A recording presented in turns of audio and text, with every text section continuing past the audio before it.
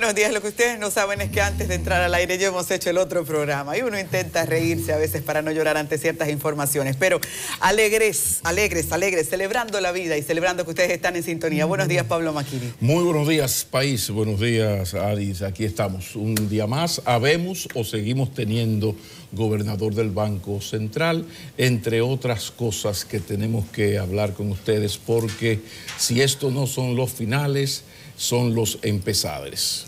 Don Nelson Rodríguez, ya hablaremos. Buenos días, bueno, ya, casi estamos en los, playoffs porque la temporada regular termina el día 30. Usted no está hablando de pelota y que de finales. el Licey está arriba. Y eso pone a uno como en chulería de una el, vez. El Licey está en primer lugar ah, en, octubre que comienza el. Pero ah, ya no, no, no, no es de pelota, son cosas, son cosas bíblicas. Y entonces ahí comienza uno ya a deprimirse cuando escucha a los, a los liceístas con esta arrogancia, amaneciendo el día. Son cosas, bíblicas, son cosas bíblicas, las finales. O sea, estamos al final. eso, me parece. este es el acabose, más falta. Dice, no, no, no, no, señor, no es el acabose. Este es el empezose del acabose de ustedes. Mafalda era terrible. en, estos tiempos de mofa, yo me acuerdo de una consigna electoral que decía que Cristo viene y fulano va. mira, Madre mía. Sí, el... sí, pero interpretaba, el fulano va para allá arriba. Eh, señor, ya que usted menciona algo del Banco Central, yo quiero comenzar el programa por ahí. Habemos, Más que un comentario, yo lo que quiero es dar un saludo, una felicitación y corroborar con esa decisión de la ratificación por dos años más de Héctor Valdés Albizu en la gobernación del Banco Central y de Clarisa de la Rocha como vicegobernadora. Ya Valdés Albizu suma 14 años en forma ininterrumpida, ahora va para 16 y fue gobernador del Banco Central del 94 al 96. Lo nombró Balaguer en el 94, lo ratificó Leonel en el 96.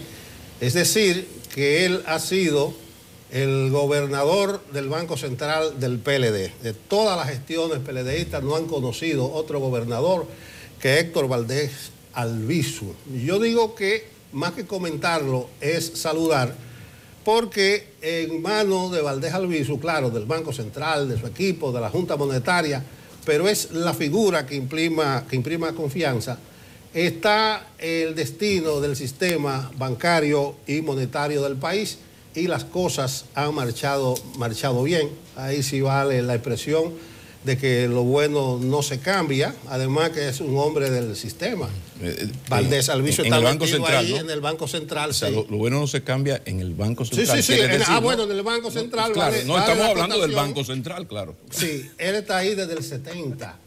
Eh, no sea cosa, entonces, eso es un mensaje. A veces las variables económicas se ponen nerviosas Recuérdense que a Jorge Blanco se le fue de la mano un poco y decía que la prima se encaramaba en la azotea del Banco Central y le sacaba la lengua, o sea, la prima del dólar. Y recuerden cuando salió Valdés Alviso en el 2000, eh, lo que pasó del 2000 a 2004. Muchos dicen que fue en el 2002, que la crisis bancaria, pero todo se salió de madre. Entonces es un mensaje de confianza a los sectores bancarios, a los sectores eh, monetarios, a todo el sistema económico en sentido general. Y no podemos decir eh, omitir que la designación de Clarisa de la Rocha como vicegobernadora también es atinada. Ella está ahí desde 2004, pero también es eh, una figura del Banco Central porque es relativamente joven y está ahí desde 1975. Es decir, que son dos cuadros fundamentales del sistema bancario y eh, monetario dominicano, además de que Clarisa de la Rocha lleva eso en su sangre, el problema Acuérdese, don Pablo, y los que tienen más edad, quién era Julio de la Rocha Báez.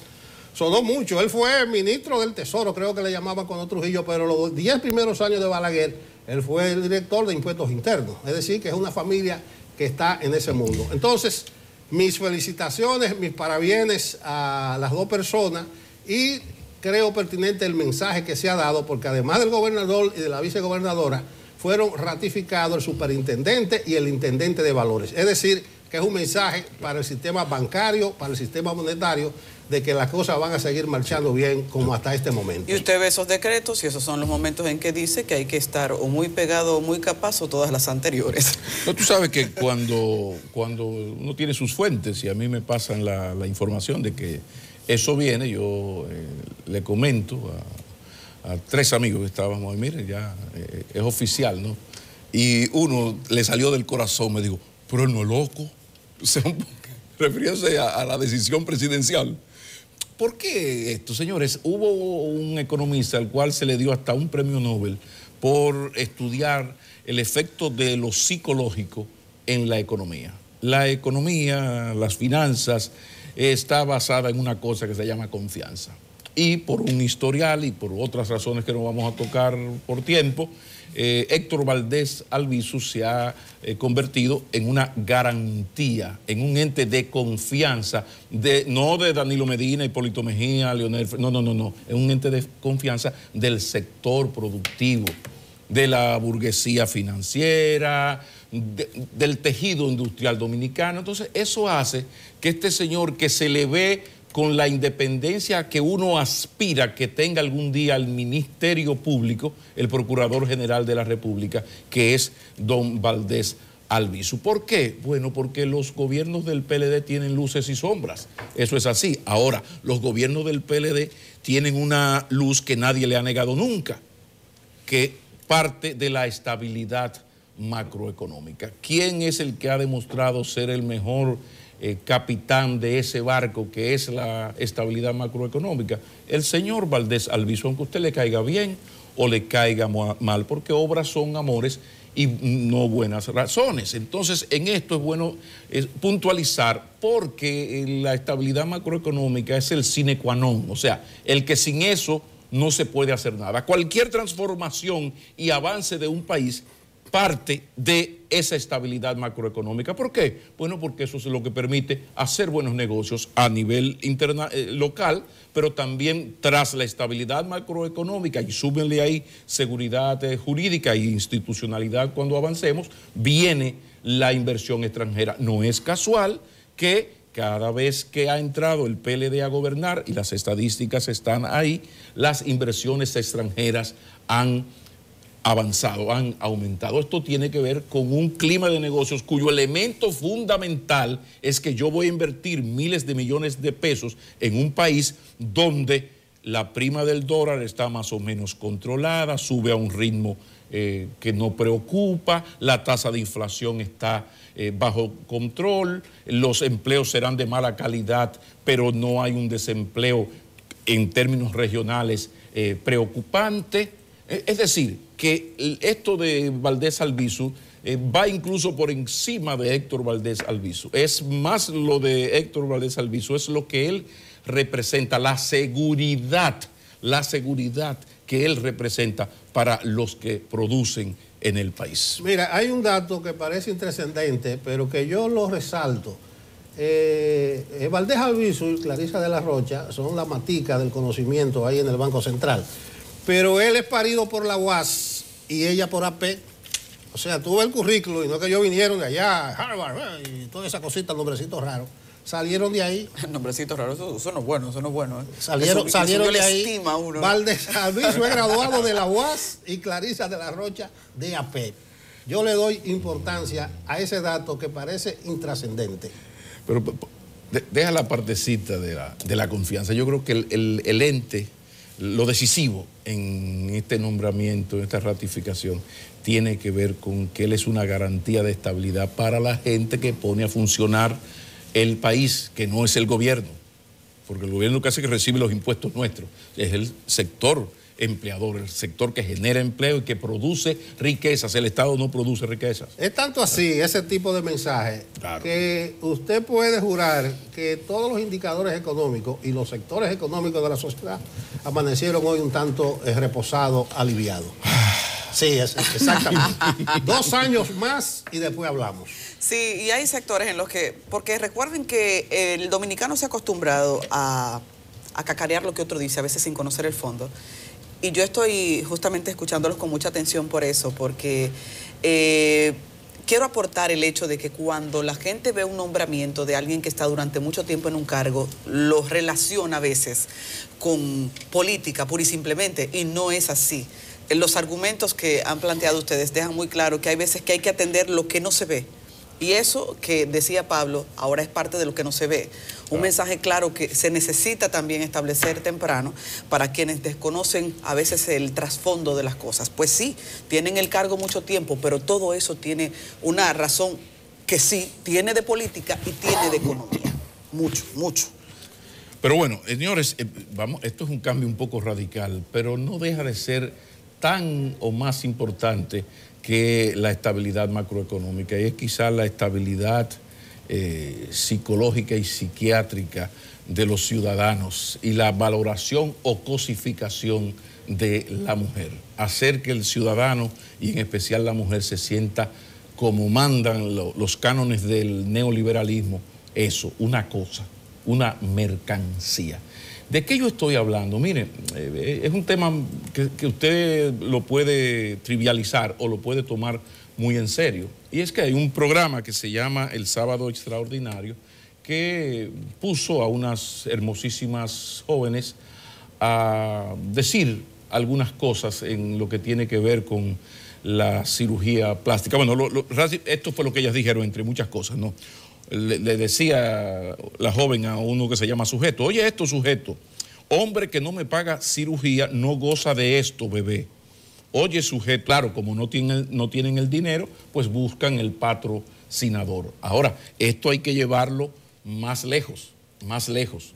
Esto comienza grave porque es lo que siente un ser humano que es mujer en este caso, pero todos, de alguna manera, eh, estos valores del neoliberalismo nos han llevado a ese individualismo y a esa competencia entre todos nosotros, unos contra otros, que son las dos esencias básicas del neoliberalismo. Pero hay un elemento que yo no quiero dejar, eh, dejar pasar, porque hay, esto, es más, esto es grave, esto es muchísimo más grave. ¿Por qué? Bueno, porque se ha llegado el momento donde esa es la comunicación coprológica más exitosa. Posiblemente Domingo Bautista, que es el que conduce ese programa, hace años que no había sonado ni se había visto tanto en un video, el de Cachicha, el de las redes, como en esto. Esas muchachas jamás imaginaron que sus rostros iban a salir en la primera de los diarios. Pero lo que quiero es destacar que esto se hace así porque hay una aceptación mayoritaria del consumidor de la televisión dominicana para esos programas, que es lo mismo que ocurre con la comunicación coprológica política. Posiblemente el análisis más preclaro, usted trae aquí, a, para no mencionarnos ni a nosotros ni a ningún compañero, usted trae aquí de analista a Rosario Espinal y hace el, el análisis más preclaro que usted pueda imaginarse y no va a conseguir el 5% de la audiencia y de los como y de los likes y las reproducciones que consiguió eso. Por consiguiente, por consiguiente, si somos lo que vemos, esta sociedad está muerta. Yo escribí ayer en Twitter, porque el problema, insisto, no son las muchachas, es el éxito, el éxito que tiene ese tipo de comunicación, como tiene en la comunicación política el no argumentar e insultar. Pero ¿qué pasa? Que ¿Cuál es el concepto para una buena parte de la teleaudiencia de un, de un buen periodista? Aquel que se para aquí, no, no, no argumenta nada, no analiza nada, sino que él dice que Juancito Pérez Vidal es un delincuente. Yo digo, yo. Entonces, oye, pero qué, qué tipo más valiente, eso es lo que llama, eso es lo que se llama un periodista. Y los ratings hacen así. Ahora, tú vienes a lo que supuestamente es el trabajo de uno, analizar los hechos y los ratings, vaya, vaya, vaya. Porque el insultar da resultado, como da resultado lo que han hecho estas muchachas. Hace poco ocurrió con otra muchacha que hizo un striptease eh, moral. Y esto va a continuar porque le gusta al público. Entonces, en el mismo momento en que usted está criticando a esas muchachas que habría que ver y buscar la historia de vida de cada una, vamos también a pensar qué está pasando en esta sociedad que es de consumo masivo y de una aceptación eh, popular extraordinaria, todo lo que tiene que ver en política o en el espectáculo con la comunicación coprológica, don Nelson Rodríguez. Bueno, esa situación que comenta Pablo de ese programa, de esas eh, eh, chicas, eh, tiene un trasfondo digno de ser abordado desde distintos ángulos por especialistas en la materia de la conducta humana y principalmente en cuanto al daño que le hace a la mujer en la sociedad dominicana. Porque eso no solo que incentiva el machismo, sino también a la mujer como objeto, como objeto carnal, como una cosa. Entonces ahí nosotros hablamos de feminicidio, hablamos de muchas cosas que se derivan de situaciones de ese tipo, pero eso es un asunto grave y el asunto este de los ratings, que no marcó, que marcó, que se vio mucho, le está haciendo un grave daño a esta sociedad, porque como, decía el señor McKinney, eso es lo, lo que vende, lo que marca en las redes lo que sube la lectoría, lo que sube la, audiencia, pero a cambio de qué? De la degradación de la mujer, de la degradación de los valores morales, éticos de la sociedad dominicana. Por eso digo que tiene un trasfondo bastante grave. También puede ser manifestación de lo que pasa en la televisión dominicana, me dicen lo que saben de eso, que están cambiando demasiado los patrones y las relaciones entre productor, eh, dueño de canal, la facturación, y se están haciendo eh, malabares y movimientos eh, que sorprenden a la teleaudiencia. Parece que en ese mundo están cambiando muchas cosas, pero no debe ser a ese precio. Yo creo que fue un problema de producción, no, del, presentador, creo yo. Tal vez lo pagó alguna clínica estética porque está más dirigido a resaltar las bondades de la cirugía estética que otra cosa, pero no sé qué se movió detrás. Yo lo que sé que es grave, grave esa situación y que la lucha de la mujer, la lucha por el respeto, por la igualdad y la equidad de género, pierde mucho terreno cada vez que suceden cosas eh, de ese tipo. Yo recuerdo, para terminar, que creo que era en el 2003, a finales de 2003, que salió el famoso calendario de las megadivas. En ese tiempo había un evento, un seminario eh, internacional y estaba yo colaborando con una compañera periodista muy fajada en esta lucha de defensa de las mujeres. Y yo le decía, mira, eso eh, ya nos tumbó el seminario, porque por más teoría que uno pueda producir, por más teoría y pauta que tracen los expertos, mira el escándalo que ha provocado ese tipo de cosas. Entonces, un simple certamen de belleza hecha por el suelo, años de lucha en defensa de la integridad y de la emancipación de la mujer. Entonces eh, hay que deplorar, hay que denunciar ese tipo de cosas y también eh, expresar pena cuando se quiere lograr audiencia de, esa manera, degradando a las mujeres, porque esas chicas se degradan, pero no hay que echarle la culpa a ellas. Nosotros no inventamos aquí un casting para algo y ustedes pueden asegurar que hacen olas las que lleguen ahí frente, frente al canal. Y, decir que esto viene eh, de arriba para abajo. Esto nació con una cosa que se llama el Big Brother en Londres hace mucho tiempo, fue bajando por Europa, llegó a Estados Unidos y ustedes lo pueden ver, ustedes pueden ver porque en otros países pasa lo mismo. Ya la muchacha de la meteorología está presentando y de repente se le cae la blusa y enseña eh, el pecho. La otra de repente... Eh, apareció una cucaracha y levantó las piernas y enseñó el futuro de la patria.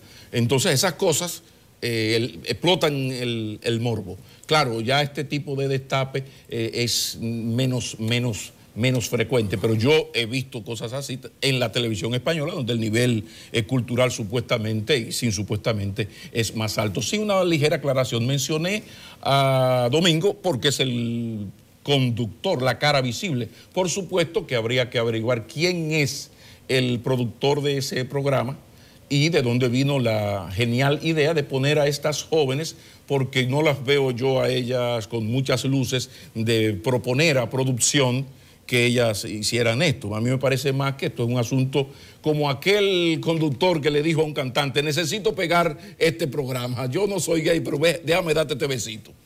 Y, se pegó el programa, que es parte de lo que estamos hablando aquí. Entonces es la hora quizás de revisarnos cada uno y como sociedad. Sí. Eh, saben que las sociedades son vivas. A mí me gusta mucho recordar esto porque es un principio importante para que eh, cualquier eh, respuesta social siempre se esté actualizando a la luz de lo que se necesita en esa generación. Y eso es válido para las leyes, es válido para los programas de gobierno, es válido para cómo la gente se comunica, es válido para todo, porque es justamente eso. Las sociedades son vivas. Nosotros tenemos entonces que priorizar los problemas que tienen que ver con la gente. Hay un tema en República Dominicana ahora mismo y yo he querido hacer eh, un recuento importante. El tema de los suicidios. De hecho, recién acabo de conversar con un psiquiatra amigo. Me dice, estamos preocupados los psiquiatras, porque cuando vamos a los medios de comunicación a hablar de suicidios, lejos de generar un efecto positivo, entonces como que se nos disparan los números.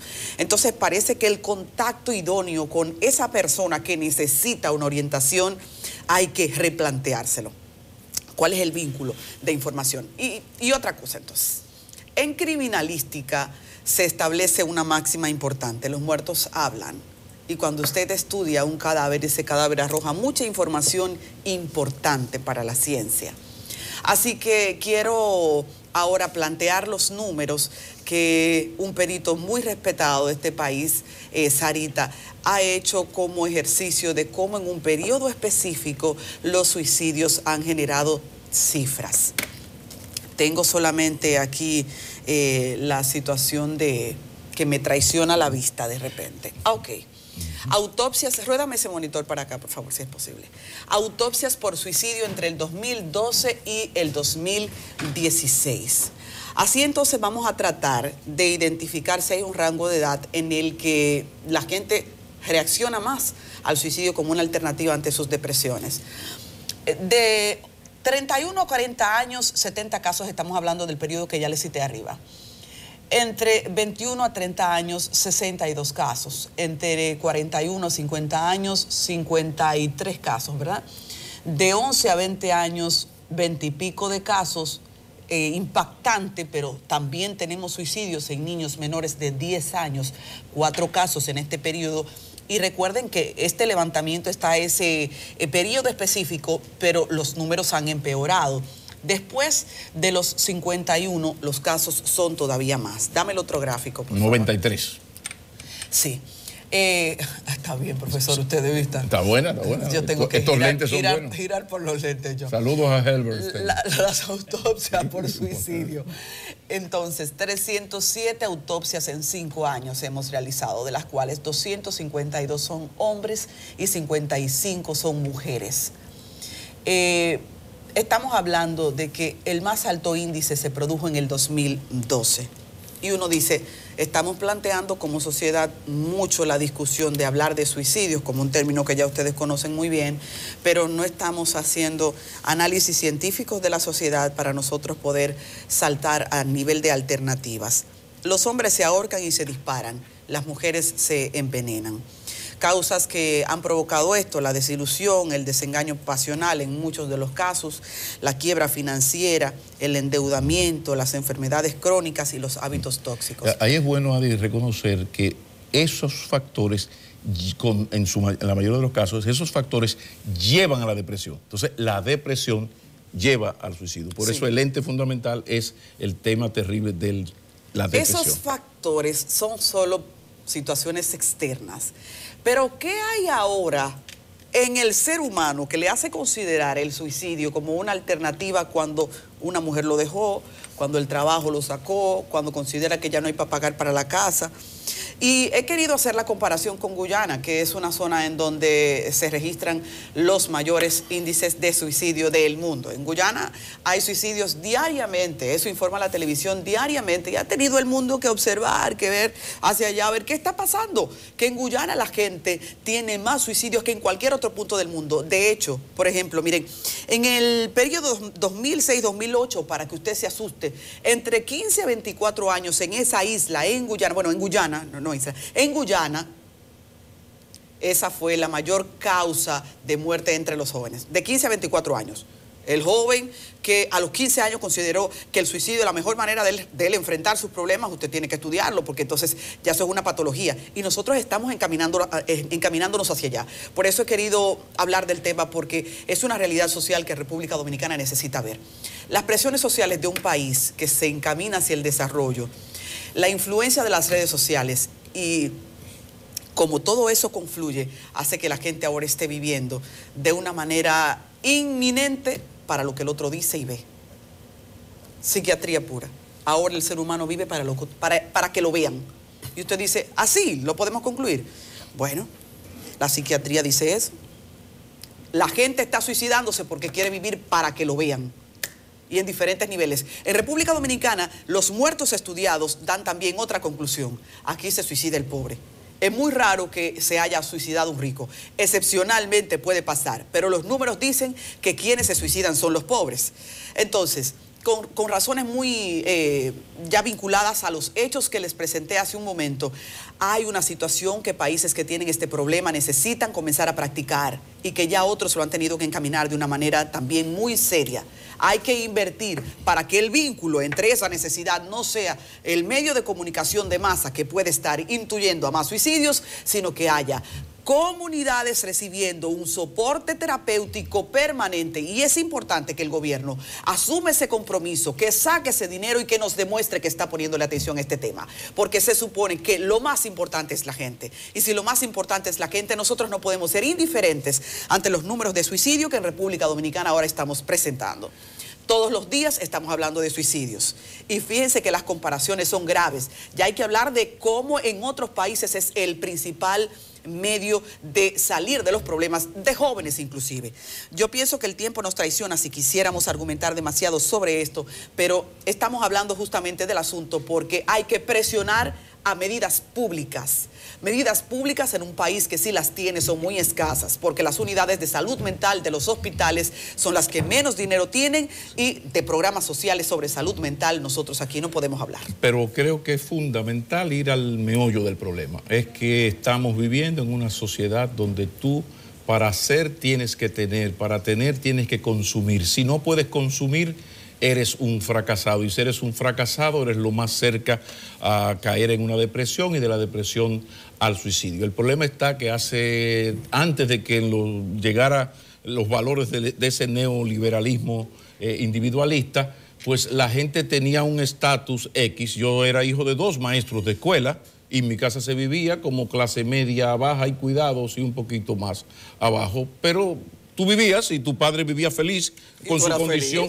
Ahora de repente la sociedad, claro, pero la sociedad te va enviando señales de que si no tienes, eres un fracasado y si no, y, si no vales. Entonces hay que pensar en las políticas públicas, pero también políticamente, y qué bueno que Milton Morrison está por ahí, que va a ser nuestro invitado, porque él va a tener que darnos su parecer sobre el tipo de sociedad que estamos eh, viviendo, porque el problema económico es grave. Lo que pasa es que ya estas sociedades están llegando a un punto donde incluso lo existencial, lo espiritual, el, vacío, el que yo hago aquí, está superando a lo económico y eso es mucho decir. Así que, Nelson, ¿algo? Sí, una, un pequeño comentario. Qué bueno que Adi haya traído el tema. Parece que tendrá una segunda parte porque a propósito de un programa que hicimos hace un par de semanas sobre la depresión, o sea, teniendo la depresión como eje, que tuvo el doctor Gómez aquí en la capital y Ángeles en Santiago,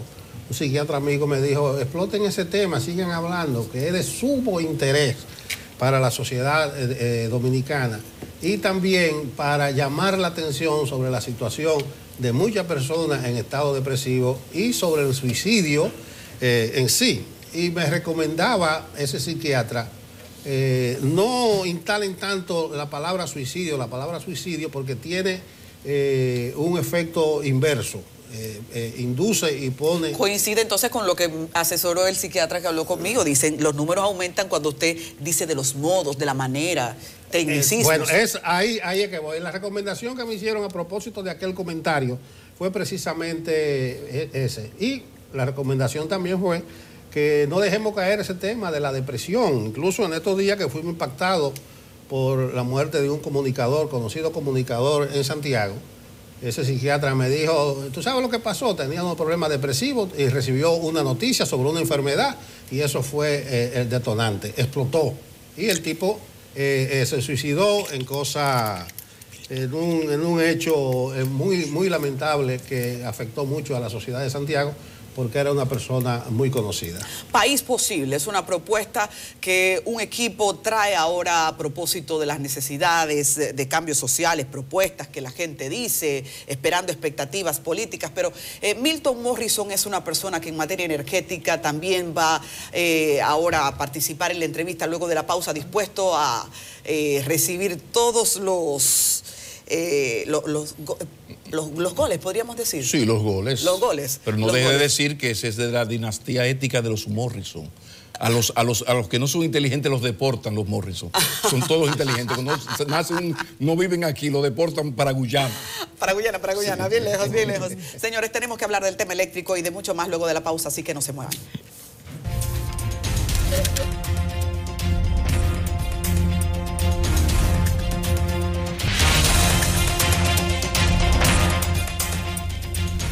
Seguimos, tenemos con nosotros a Milton Morrison, poeta, escritor, eh, político, ingeniero, y lo tenemos aquí en su doble condición de político y de conocedor del sistema eléctrico. Es un hombre del inside, de adentro, del concón, como decía un amigo mío, y podrá hablarnos con autoridad de lo que está pasando en el sistema eléctrico. Buenos días, Milton. Bueno, muy buenos días, Nelson, Pablo. Un gran honor estar aquí con ustedes. Eh, yo sé, sí, como dice Nelson, la tentación es grande y vamos a tocar el tema energético, pero yo creo que sería terrible no preguntarte primero por el proyecto País Posible y cómo se ve desde País Posible el país nacional en estos momentos. Sí, bueno, en estos momentos País Posible se encuentra en la etapa de completar eh, todos los requerimientos que pide la Junta Central Electoral para depositarlos y convertirnos en la alternativa, en la opción política que en el año 2020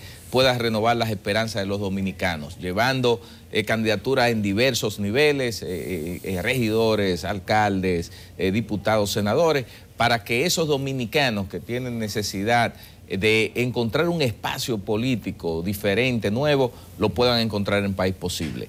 Lo otro es que vemos la sociedad dominicana eh, en estos momentos en una situación que nos preocupa mucho. Cuando uno ve que gran parte de la juventud dominicana lo que quiere es salir del país, ahí hay un indicador eh, que nos hace ver que necesitamos hacer algunas cosas para que este país sea el país de las oportunidades, no solo para los jóvenes, sino para muchos dominicanos que han nacido aquí, quieren desarrollarse y morir aquí en el país. Ahora, hay algo que preocupa. Si bien es cierto, eh, tenemos unos niveles de pobreza material importantes que han estado ahí durante muchos años, nos preocupa la pobreza espiritual, la desesperanza que pretende enquistarse en los corazones de los dominicanos. Entonces, nosotros por eso entendemos que es un momento crítico en el cual el liderazgo nacional tiene que eh, reflexionar y presentarle al país soluciones a esos problemas que le afectan directamente a la gente y nosotros como país posible, esa es la naturaleza de nuestra existencia. a ti te vemos como un emergente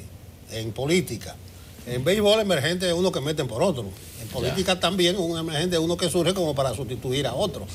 Pero el, concepto es algo alternativo, algo nuevo.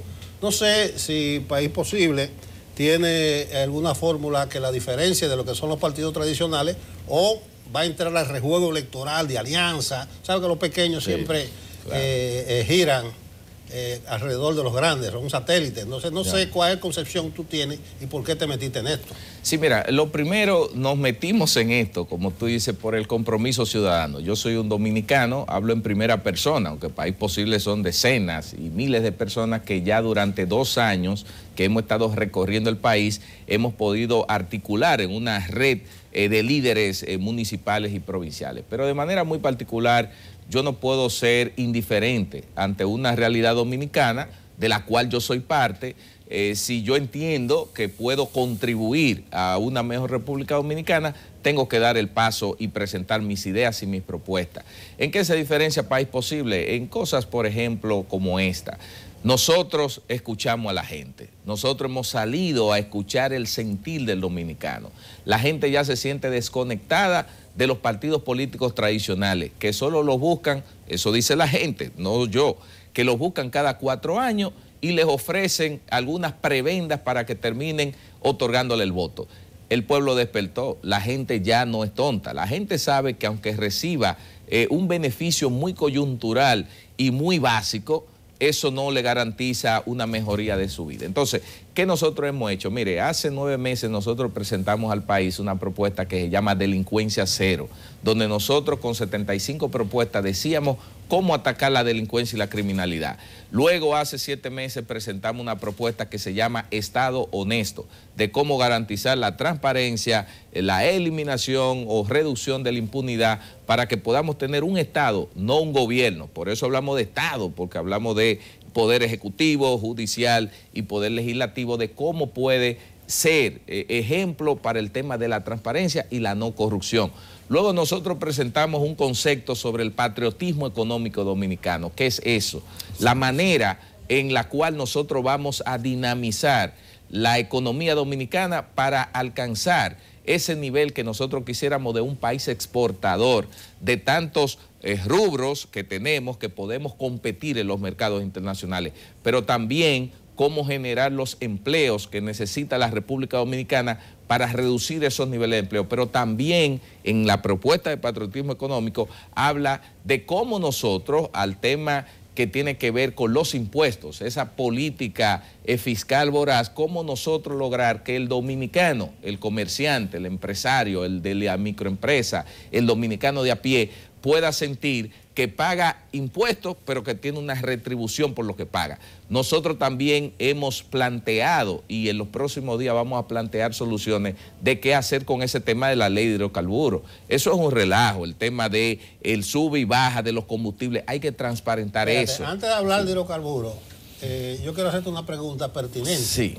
Yo recibí una vez un brochure, eh, más bien era un kit con todas las propuestas de ustedes, muy bien impreso. Ya. Dice, esto es recurso. Ya. ¿Cómo se financia eh, eh, tu organización? Mira, la, de la forma más sencilla y más transparente, que ojalá los partidos políticos muchos se financiaran como país posible. La gente, nosotros tenemos dos años vinculados con dominicanos que quieren un país posible. Y esa impresión que usted vio muy bonita, ¿verdad? Satinada, con propuesta, que cuesta dinero. ¿Usted sabe qué pasó? Un señor que tiene una imprenta importante en este país, que cree en un país posible, nos regaló 50 mil de eso para que nosotros podamos hacerlo. No nos costó un, un centavo, sino la voluntad de dominicanos que están cansados con lo que está ocurriendo, que quieren alternativas, que entienden que nosotros nos hemos preparado para hacer esa transición del liderazgo, para hacer ese relevo, porque lo que nosotros estamos diciendo es que aquí hay una eh, clase política que ha estado de espalda a grandes problemas nacionales que terminan afectando de manera individual a, a las personas. Entonces, ¿qué nosotros decimos? Vamos a agradecerles a esa clase política que nos ha gobernado en los últimos 25 años por las cosas positivas que han hecho. Ahora, han hecho otras negativas. Nosotros decimos que hay que agarrar eso que ha estado bien y vamos a llevarlo, a potencializarlo para mejorarlo. Ahora lo que está mal hay que corregirlo. Y por eso nosotros decimos que País Posible se convierte en la plataforma de una renovación del liderazgo, pero a la vez de la transición de ese liderazgo que yo creo que ha dado lo que le iba a dar al país. Hay una verdad incuestionable, es que sin un frente opositor no hay ninguna posibilidad de sacar al PLD del poder. Eh, ¿Cómo ve Milton Morrison las posibilidades de ese frente que uno lo que ha visto es mucho individualismo y cada vez que se intenta hay un fracaso, los egos terribles no se ponen de acuerdo. Eh, ¿Cómo lo ve y cuál es el planteamiento? Mira, totalmente. Y qué bueno, Pablo, que tú me haces la pregunta. Yo aprovecho aquí en este espacio y reitero lo que he dicho de manera quizás privada o en grupos más reducidos, pero a través de este programa lo digo. Mire, yo creo que hay que crear ese frente, esa coalición eh, que pueda eh, representar la mayoría de los dominicanos. Yo creo que hay que despojarse de los intereses individuales y pensar en los intereses colectivos. Nosotros estamos dispuestos a sentarnos en la mesa con todo el liderazgo nacional para ver la forma en que se puede crear esa gran coalición pero sobre la base de propuestas y elementos programáticos. Porque si es la oposición llegar para hacer lo mismo, no hace sentido. Nosotros tenemos que llegar para hacer transformación importante en la República Dominicana. Entonces, ahí viene el problema de lo programático, porque tú sabes que en los últimos 10, 12 años, lo menos importante en una campaña electoral es el programa, algo fundamental hace 30, claro. 40 eh, años. Entonces, hay una propuesta, lo hemos conversado con diferentes aspirantes, es caramba, un gran frente donde cada quien, a partir del que tiene más saliva y come más hojaldre, que va a ser el candidato presidencial, pero eh, Milton Morrison sería un excelente eh, senador, diputado, Guillermo Moreno eh, podría ser un excelente senador de Santiago o de la capital, Eduardo Estrella de Santiago. O sea, esa posibilidad de una unidad bajo un programa y que Dios nos ampare, y, pero también ese desprendimiento y bajar un poco el ego y de que cada quien haga lo que tenga que hacer por el país si es que tanto le importa. Claro, mira, tú has dicho algo sumamente importante, el tema de los programas, realmente el electorado, en términos concretos, no valora mucho esos que son las, partes, las cosas más importantes, pero las menos valoradas en el momento en que el electorado va a sufragar con el tema del voto. Ahora, ¿qué sucede? Debe haber un programa, debe haber planes, deben haber ideas y cuando yo lo digo, no es de cara a todo el electorado, sino de cara a ese liderazgo que tiene que unirse. O sea, para poder sentarse en una misma mesa, eh, tienen que haber elementos comunes que unan a las personas y los que los dividen vamos a dejarlo fuera, pero vamos a, unirlo en este sentido. Lo otro es en cuanto a...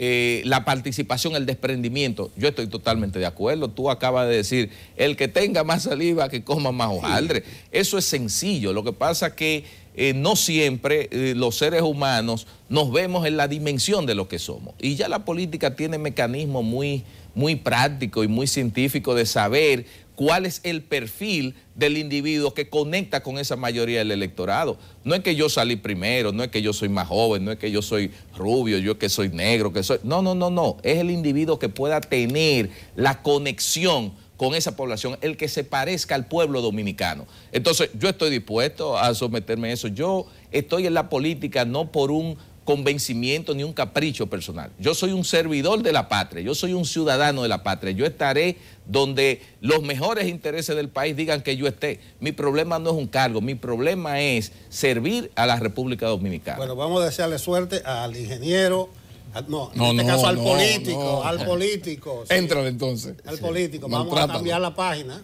Vamos a entrar al tema eléctrico y vamos a comenzar por el rayo, porque tiene muchas implicaciones. La gente dice, eso evidencia la precariedad del sistema, eso evidencia que no había energía fría, creo que ustedes le decían. Y han salido, han salido todos los peros, que los que están investigando el rayo eh, no son lo que deben ser, porque no debe ser la CDS, sino el organismo tal del CENI, ese tipo de cosas. Ya. Eh, vamos a hacer una caracterización de la situación actual que parece un poquito tétrica en, del plano hasta económico para el gobierno.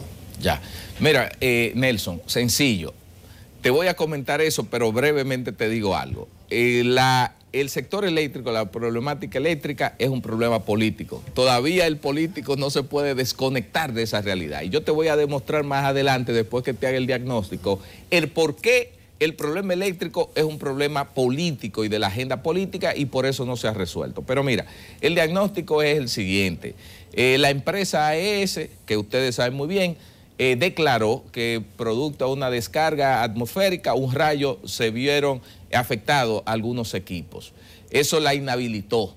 Aquí lo lamentable de todo esto es lo siguiente, que no haya una planificación, pero no desde ahora, porque no es un problema de este gobierno, es de todos los gobiernos. Desde hace 30 años este país debió tener una planificación energética. Es una vergüenza que salga una planta, aunque es importante, ¿verdad? La planta más eficiente en términos de costo, son 319 megavatios, casi el 15% de la demanda diaria que se sirve en la República Dominicana, pero que no haya una reserva. Sí, pero antes, de continuar, es bueno para ser justos, son 300 megas, sí. pero como ahí está el centro de abastecimiento de gas natural, esa saca a dos plantas más, Mina 5, Mina 6 pero entonces resulta que por el azar, una casualidad, eh, Barahona también de 45 megas, también está en una cosa. Eh, pero ese Barahona carbón. Carbón, pero son 45 megas menos. Pero también la tristemente célebre Cogentry también tiene un mantenimiento programado. Si tú sumas todo esto, es como una casualidad, yo diría una diablosidad más bien. No, mira, a ver, a ver. vamos a ver mi, opinión. Yo te iba diciendo el tema de esa salida, la planificación que deberíamos tener, como decía Nelson, reserva, eh, reservas de plantas como existe en otros países, donde tú sacas una por mantenimiento, por una causa mayor o lo que sea, y el sistema no se te cae. Ahora, ¿qué sucede? Hay coincidencias, como tú dices. Yo fui de los que planteé antes de las ruedas de prensa que hicieran en la sede, yo dije lo siguiente, el Estado tiene que jugar un rol. Y ahí hay que pedirle a ese generador que tiene ese mantenimiento programado, porque hay que darle mantenimiento. Ahora lo que hay que espaciarlo, no puede coincidir con esta situación porque se va a agravar todo esto. Entonces, ha tenido el sistema que llamar una serie de plantas eh, que no son en términos de costo las más eh, eh, digamos, interesantes para la corriente sale más barato pagarla pagada, pagarla apagada que pagar lo que el costo de su generación. es terrible, no, terrible esa No, oye, Pablo, oye, mira, yo quisiera, yo quisiera decirte algo. Lo que sale más costoso es el apagón. El suplir el apagón sale más costoso que generar con cualquiera de las plantas más caras del sistema. Sí, es cierto, mira, un kilovatio de esa planta que tú dices, o de San Felipe, o de cualquiera, que son las que ahora Duplica están repletando Sí, pero tú suplirlo con tu planta eléctrica en la casa, en la oficina, en el negocio, con vela, con querosene, con inversor, el kilovatio de ese suplir ese apagón es más caro que el kilovatio de cuidado de porque tú en agosto del 20 puedes ser el jefe del Estado. Entonces es difícil cuando tú haces un presupuesto que asigna 45, 425 millones de dólares, que por todas estas cosas extrañísimas, esos 425 más 200 de la sal por la salsa del petróleo se meta a prácticamente 715, 750 millones de dólares. Así no hay pollo que llegue a gallo. Pero oye, ¿qué es lo que sucede? A ver, a ver, yo tengo que hacer un ejercicio como lo he hecho en los últimos años. Y yo estoy diciendo lo, que he dicho siempre. y yo no, esto no, esto no es una defensa. yo sé que tú eres coherente. No es una defensa ninguna planta eléctrica. aquí le está hablando el ingeniero eléctrico, eh, la persona que hace 23 años está vinculado a este tema. Mira, realmente el costo del apagón. Yo escribí un artículo donde demostraba en términos numéricos el costo de un apagón. O sea, es más económico, obviamente, tú dirás, para el Estado que tiene que pagar esa energía, comprar esa energía más cara, le cuesta. El Estado somos todos de alguna u otra forma, nosotros pagamos eso. Pero, pero realmente suplir ese apagón es mucho más costoso con una planta pequeña, porque yo te lo diría de la siguiente manera. Si no fuera más costoso, la gente entonces autogenerara. La autogeneración es más costosa por medios convencionales que cualquier precio del kilovatio hora del sistema. Ahora, ustedes me dirán, ¿es lo ideal eso? Yo te digo que no. Yo quisiera un parque de generación que tenga plantas con costos más competitivos. Yo soy un cliente, yo quiero que mi energía me llegue lo más barato posible. Ahora, ¿dónde surge eso? En el tema del rol del Estado. El Estado tiene que llamar a las licitaciones para poder garantizar energía barata, sostenible y que haya reserva para evitar este tipo de cosas. Lo que pasa es que se tiene que, eh, él la tenía acordada, el problema es que con este lío, esta casualidad, estas diablosidades, tiene que ir al mercado spot, que tú sabes mejor que uno Pero te digo eso significa. Cuando y sube el, precio promedio, sube todo. Pero oye lo que te voy a decir, Pablo. Hace cinco años se empezó a construir Catalina.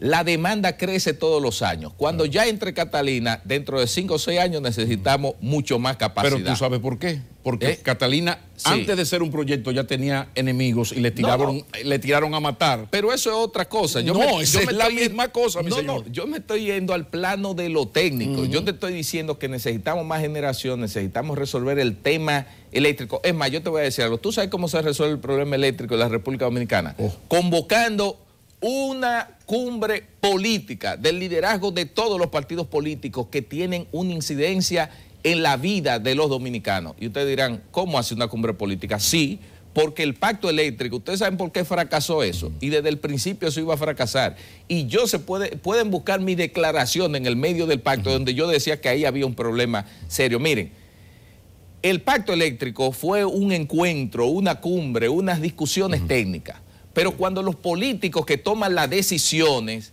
no escuchan a los técnicos, no se hace nada. Los partidos de oposición, y yo lo digo de manera responsable, en su mayoría no participaron en el pacto eléctrico de manera sistemática. Entonces, ahora, ¿qué necesitamos? Que se sienta el liderazgo nacional y diga... Ahí falta alguien no me deje a los generadores que financian a los políticos. los generadores eléctricos pero son parte fundamental. decir algo. a ver. Vamos a buscar un culpable a propósito de la pregunta de, de Pablo. Yo que soy un lego en la materia, yo reparto la culpa. La tiene el Estado, pero la tienen también los generadores, la tiene la distribuidora. Entonces vamos Todo, todo de una u otra forma tenemos culpa de eso. Hasta el consumidor tenemos culpa de eso. El, peso, de la culpa, ¿en quién cae en esta situación? Mira, el peso, si vamos a buscar culpable, a mí no me gusta mucho el tema no, no, pero hay que buscarla porque entonces pero, exoneramos a otro y, La opinión del ingeniero, porque ha llamado la, le estoy preguntando al ingeniero, ha llamado la atención de que el rayo haya causado tanto daño, porque en las casas, cuando yo era muchacho, había el break, que era una laminita. Entonces había un cortocircuito circuito, y en la laminita se caía. Entonces llama la atención que este bendito rayo haya hecho, bueno, fue para el carajo que mandó todo. Estamos hablando de que en dos años no, no habrá la, producción que, tiene esa planta. no hay alguna sospecha desde la ingeniería. Pero, mira, Pablo. no hay uno breaker, como dice el pueblo. Tú eres un hombre inteligente y con esa forma sutil lleva las cosas. Mira, tú tienes razón. las plantas tienen que tener o tienen de por sí un sistema de protección que ante esa descarga no debió generar esa situación que está. Ahora, muchas gracias. Ahora, ¿qué yo te digo?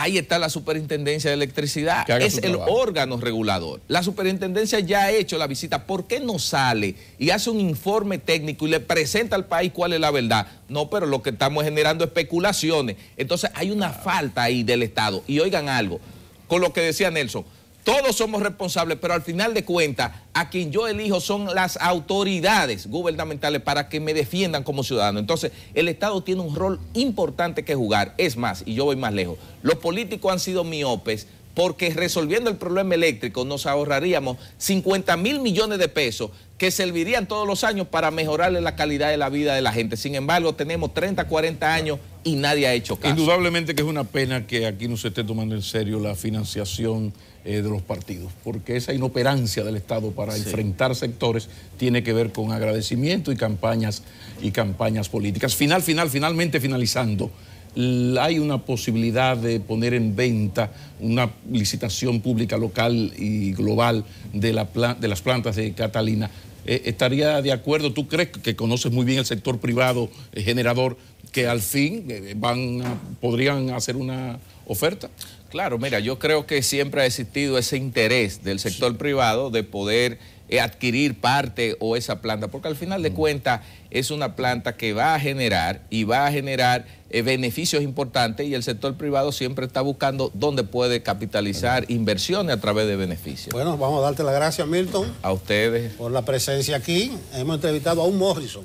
Eso es una marca en este país. Gracias, gracias. Tú sabes que eh, había una broma pesada que nosotros le hacíamos a Milton y a los generadores, cuando era presidente de los generadores, que yo decía, qué bárbaros son. Le mandan un Morrison a uno de representantes, lo que viene a neutralizar la entrevista. Esa entrevista no servía Saludos a Cristian Jiménez. Muchísimas gracias. Gracias a ustedes. Y buena suerte. Continuamos. Vamos con Rafael Lara, vamos con Rafael Lara. Y es que a propósito de este día, en San Cristóbal se espera el traslado de los comerciantes que han estado en el mercado municipal, algo que anticipó tensiones. Rafael, buenos días.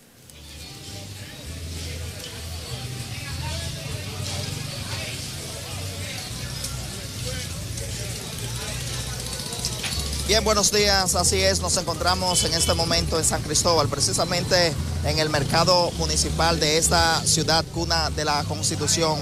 Hoy se ha iniciado el plazo de lo que es el traslado de esta plaza comercial que está ubicada en el centro de la ciudad San Cristóbal.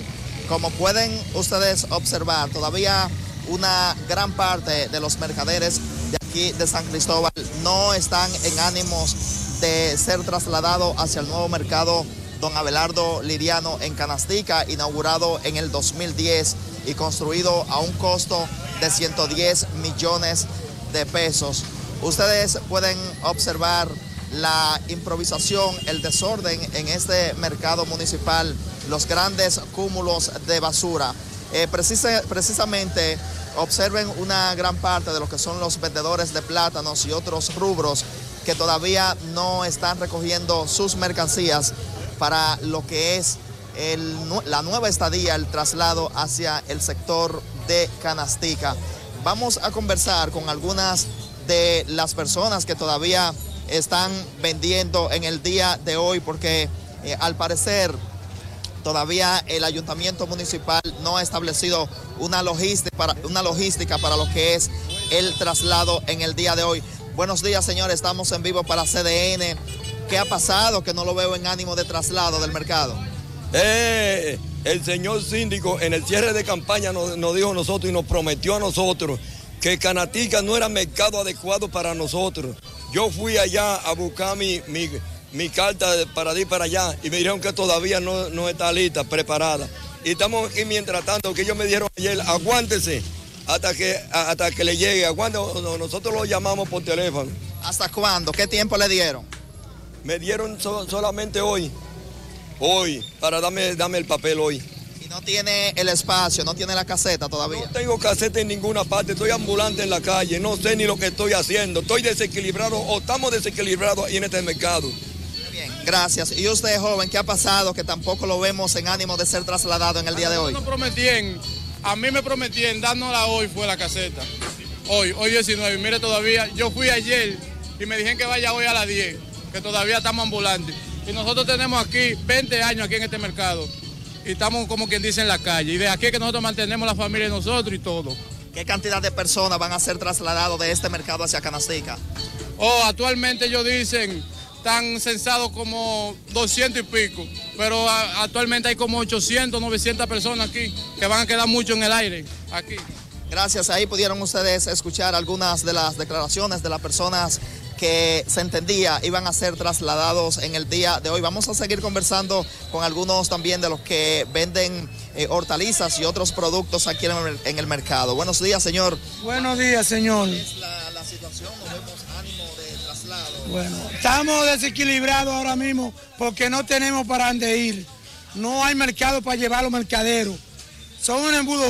Gusto da que ustedes vayan allá al mercado y lo vean. Mire el puesto mío, mire. Eso no cabe en nada. ¿A dónde va a caber? Yo tengo mi familia, tengo que mantenerla aquí. La juventud mía se fue aquí. Tengo 54 años de edad y lo ha echado en el mercado. Y no tengo puesto, me censaron y no tengo. ¿Para dónde voy? A y Florentino para servirle. Bien, ahí pudieron ustedes observar algunas de lo que son las, las opiniones de los mercaderes de aquí de San Cristóbal. Ciertamente ya hay gente que está recogiendo, como pueden ustedes, como pueden ustedes observar, ya hay algunos de los mercaderes que sí han estado recogiendo sus espacios aquí en el mercado de la ciudad de San Cristóbal. Nosotros eh, nos vamos a mantener aquí en esta plaza comercial improvisada y abandonada en San Cristóbal. Y más adelante le estaremos presentando lo que es el nuevo mercado Don Abelardo Liriano construido en el sector de Canastilla, municipio San Cristóbal. Retorno contigo, Adis. Me, escucha, Lara me escucha, porque me gustaría preguntar si el alcalde, bueno, ok, la retroalimentación eh, tiene un un retraso breve. Eh, vamos a en breves minutos tratar de poder responder si el alcalde Nelson Guillén, que dijo claramente a los mercaderes que no les daría un plazo, ha dispuesto algún tipo de patrullaje o de comisión para sacarlos de ese lugar en donde muchos dicen eh, no saldrán. Y a propósito entonces de que estamos en este momento enlazando con las comunidades, vamos en vivo con Daya Sena y la escuela Héctor José Díaz, porque la Asociación de Padres tiene eh, gran inconformidad que ha llamado prácticamente a capítulo. gracias, Ciertamente me encuentro desde el barrio 27 de febrero, justo en la escuela Héctor José Díaz, eh, y vamos directamente a conversar con algunos de los padres quienes tienen quejas ya por el poco espacio que tiene este centro educativo, asimismo como las precariedades que presenta la infraestructura. Vamos de inmediato a conversar con alguna de las madres de los estudiantes. Buenos días. Su nombre primero. Milagros. Milagros, cuéntenos, ¿qué problemática presenta el centro? Bueno, queremos una escuela mejor, no hay mejoría aquí, queremos profesores, los niños se quedan en la casa porque no le dan clases, porque no hay profesores y queremos una escuela mejor, más grande condición. Esto no está destruido, no tiene agua, no tiene de nada esta escuela, por favor. Perfecto. Usted, cuéntenos un poquito, ¿qué más carece este, esta escuela y se han hecho las quejas ya? Sí, esta escuela necesita baño, esta escuela necesita que haya una, una, persona como un oficial de policía, porque a veces presentan seguridad, porque a veces se presentan casos, como la semana pasada que vino una señora con problema mental y comenzó a tirar piedra, habían los niños estaban en la fila. Entonces necesitamos también autoridad en esta escuela. Aquí realmente los niños necesitan una escuela. Necesitamos una escuela más grande, más confortable, que los niños puedan tener el recreo los niños no le dan recreo porque no tienen miedo los profesores que hay, que venga un carro, que se presente un problema y le pase algo a los niños. Entonces, eh, necesitamos realmente una escuela. Hemos hecho protestas, ya hemos hecho muchísimas cosas para que, no digo eh, salud, eh, ¿cómo se dice? La educación, sino el gobierno, a la primera dama que ayude a estos niños. A los niños que están aquí quieren aprender. Los maestros que están aquí quieren enseñar, pero no hay maestro. Porque mandaron una maestra, no sé si lo han, dicho, mandaron una maestra de educación y la maestra maduró un día. Ella se fue y no regresó más, no dijo más nada, simplemente se fue y dejó a los niños en Tambay. Perfecto, nosotros teníamos entendido que esta era una de dos infraestructuras que, para, para poder albergar la cantidad de niños. Exactamente, así mismo era pero debido a que no sé qué problema ha pasado, hay muchas que no se pueden avistar. De aquel lado había, pero lo tuvieron porque no había realmente, cuando caía un agua era un desastre. Cuando aquí llueve no hay, no hay clase porque se moja la escuela. ¿Tú Entonces necesitamos otra, otra escuela. Por aquí hay muchísimos terrenos que el gobierno puede hacerle otra escuela a estos niños que realmente lo necesitan. ¿Tu nombre? Rosa María. Perfecto, muchísimas gracias. Vamos a conversar con otra de las madres quienes continúan con estas quejas ciudadanas en cuanto a lo que tiene que ver esta, este plantel. ¿Qué otra deficiencia presenta? Mi amor, otra deficiencia presenta la escuela de Torjotadía y que necesitamos un policía escolar aquí para vigilar esto. Mire la cañada ahí donde los niños hacen la fila. Alumbre con la cámara ahí para que usted vea, joven. Que ahí es que los niños hacen la fila dentro de ese charco de agua. Mire la escuela, la condición. Los niños están como sardina en lata, eh. Incómodos completamente, no pueden estudiar así las enfermedades, muchas enfermedades por la contaminación. claro, mucha malaria, mucha enfermedad, mucha fiebre y de todo, imagínense, mucho los mosquitos, porque mire qué es lo que pasa frente a la escuela. ¿Su nombre? Altagracia Rivera. Nosotros vamos a hacer un pequeño paneo también para ver las condiciones en las que se encuentra la escuela, donde justamente debajo se encuentra un, una, al parecer, una cloaca donde pasan también las aguas desde los contenes y desde todo el sector y vienen a desembocar justamente en la parte baja de la escuela. Lo que han dicho eh, los moradores ciertamente es que hay cuatro aulas en este plantel educativo y se han visto en la necesidad de alquilar otro terreno al cual también he hecho pasar por un plantel educativo para albergar a la gran cantidad de estudiantes que acuden hasta esta escuela básica Héctor José Díaz. Ese es el panorama y el llamado que hacen los comunitarios al gobierno, al Ministerio de Educación y al Ministerio de Obras Públicas para que haga realidad este sueño. Así que de esta forma nosotros vamos a retornar nuevamente contigo al estudio, Avis. Muchísimas gracias, Daya, y, eh, rectificar lo grave que es que estos niños toman recreo en la calle porque no hay patio, no hay un entorno y tampoco baño en medio de esas condiciones,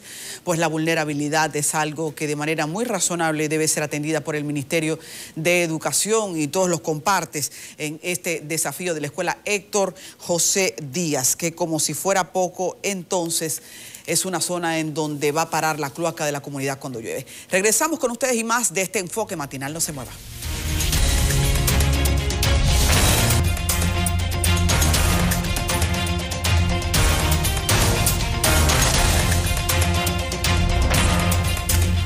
Bueno, seguimos con enfoque matinal. Yo tengo un temita, jóvenes, que más que el tema propiamente dicho, es llamar la atención sobre una situación. La Junta Central Electoral publicó ayer lo que se llama el calendario electoral. Son los plazos, las actividades eh, que ella va a realizar en un periodo de los próximos 33 meses. Y mirando ese calendario electoral, cualquiera se asusta la Junta Central Electoral está metida en tremendo berenjenal con esto de la ley de partido, con organizar las primarias de las organizaciones y lo que hay que orar para que salga bien librada. En esos 33 meses, ella debe adoptar 315 medidas administrativas administrativa y están debidamente calendarizadas cada una de esas medidas. Un ejemplo, en 6 de febrero de 2019 es la fecha límite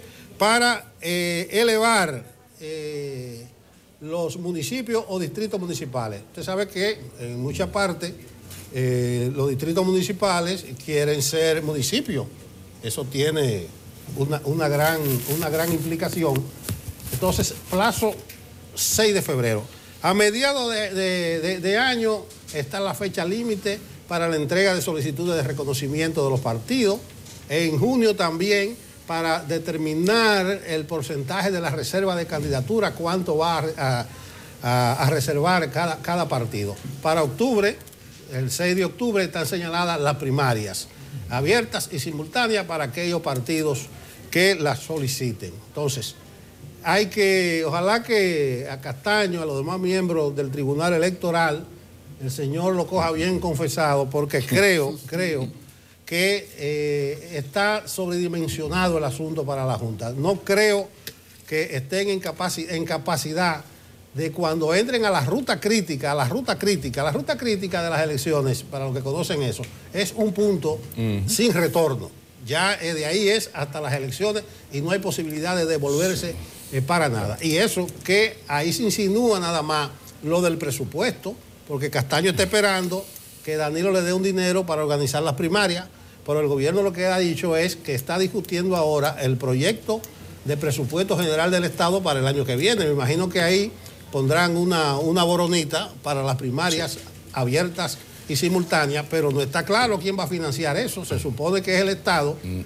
Eh, pero ¿cuánto va a costar? Entonces, calendario electoral ya publicado, fechas eh, preestablecidas hasta llegar a febrero para las elecciones congresionales y municipales y para el tercer domingo de mayo para las elecciones nacionales, el 15 de mayo. El 15. Lo cierto es que yo no veo motivos para el optimismo, sino para la preocupación, más bien para la ocupación, porque cuando tú revisas eh, ese calendario, yo lo veo demasiado eh, ajustado. Cuando vas al tema del dinero lo veo preocupante porque uno imagina que el Estado al fin de cuentas va a meter la mano, pero como bien dices, eso está, no está del todo claro. Además, hay un problema mucho peor, que ojalá que no se repita, y es que hay una vieja estrategia.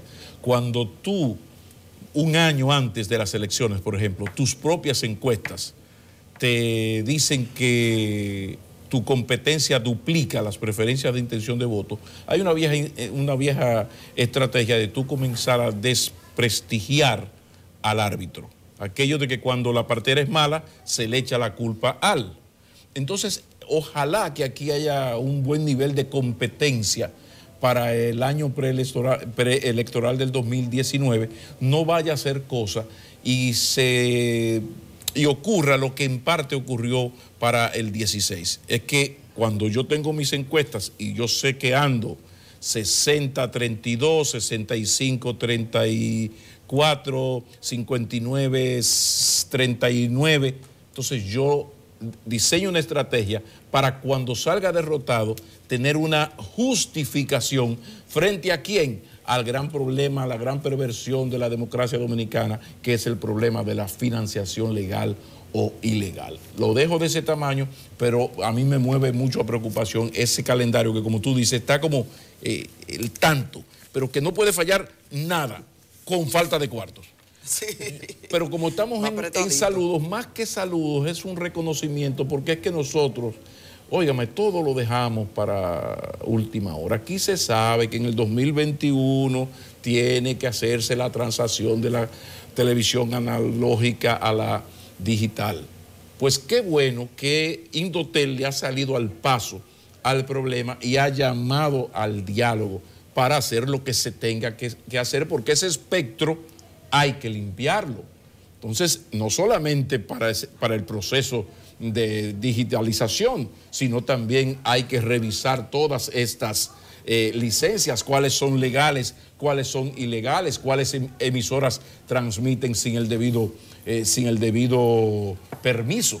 Entonces, ojalá que Indotel siga por ahí, porque hay un tema que uno eh, ha visto una mejoría y la quiere reconocer porque ha sido crítico en el pasado de cierta lentitud y que el, el consumidor se sentía, el usuario se sentía un poco desprotegido, y es que hasta ahora el 97%, por, el 97 de los casos que han llegado a Indotel como reclamos han sido respondidos y el dato de que se ha entregado, se ha devuelto al usuario 1,3 millones de, pesos. Eso es muy importante porque eso no puede hacer, eh, le digo al señor Luis Henry Molina, no puede hacer otra cosa que no sea mejorar. Como creo que Indotel, con el fondo que tiene, debería continuar sus esfuerzos, yo sé que se está en eso, en el tema de la mujer y la tecnología.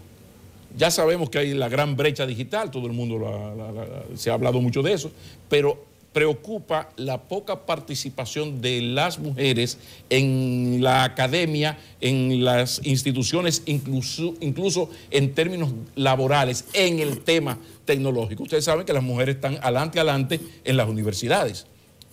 Las mejores estudiantes y la mayoría son mujeres, menos en el tema tecnológico. Qué bueno que Indotel ha destacado esa parte. Ojalá que se trabaje duro en esa, en esa línea para que las mujeres, atención, el ITLA, que le den mayor oportunidad a las mujeres. ¿sí? Bueno, apunten esa fecha, 2021 televisión digital.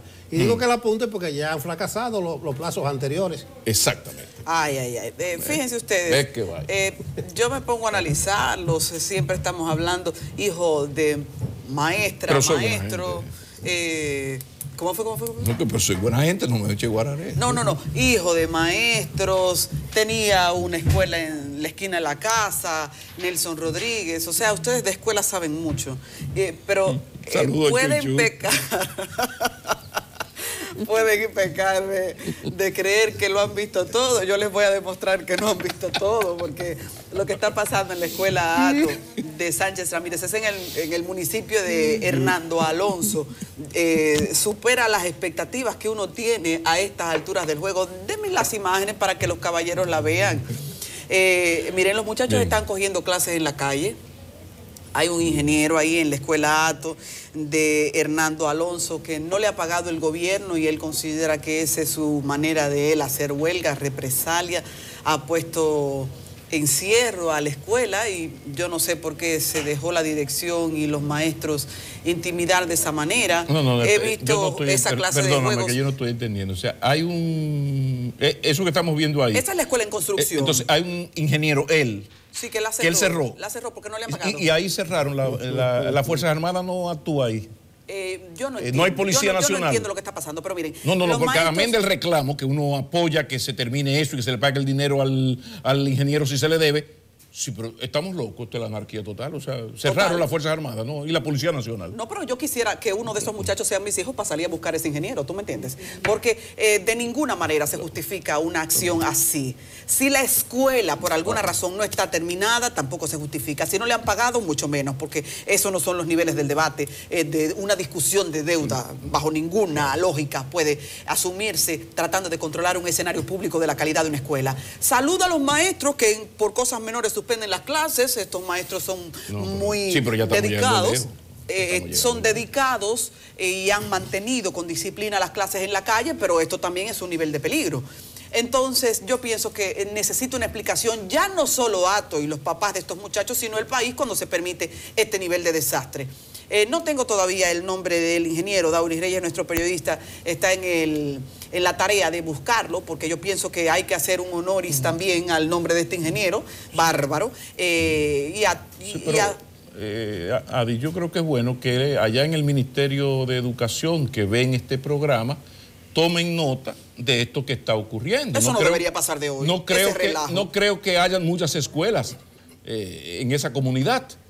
Entonces, ahí está la bendita escuela. Le- la información es que se le debe la escuela básica de El Hato.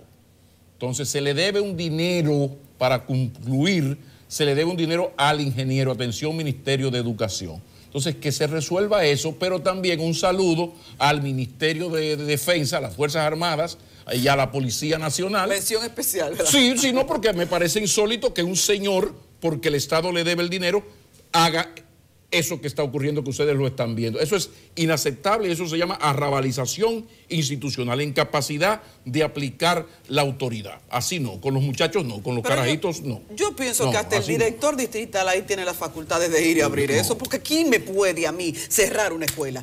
¿Bajo qué nivel de juicio eso cabe? Bueno, a propósito de escuela y de maestros dedicados y disciplinados, esta tarde se inaugura en Santiago el liceo profesora Gloria, Ana Gloria de la Cruz Estrella. Ella es la madre del ingeniero eh, Manuel Estrella.